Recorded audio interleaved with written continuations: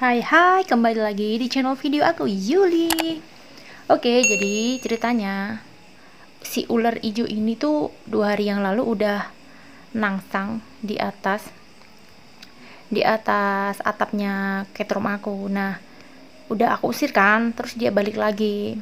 Mungkin dia itu sebenarnya target utamanya itu pengen makan burung murai suami aku. Nah, kalau kalian mau tahu gimana cara aku ngusir dia untuk yang kedua kalinya kalian simak terus video aku ini jangan di skip ya oke okay?